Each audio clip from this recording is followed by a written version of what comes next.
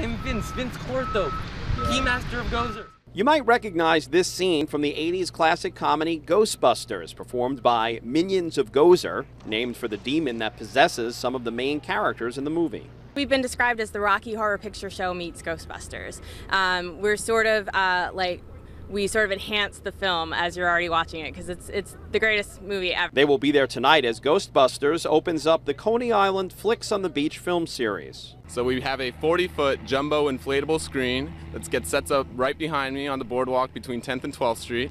And uh, we show classic New York films, some new films, some shorts and artsy films. Uh, there's a little bit of something for everyone, and we do this in the month of July and August. The free movies also include the newest one featuring the Muppets, with entertainment starting at 7 and movie showtime at dusk. We just decided that, you know, on a Monday night, when it's otherwise a little quiet around here, that we needed to uh, spice it up a little bit. And the addition of entertainment like Minions of Gozer will definitely spice things up. We've never done it al fresco before. It's always been indoors, and I think that's going to add kind of an element of, I don't know, chaos maybe, which will be nice. Just a lot more room to work with, a lot more people to work with.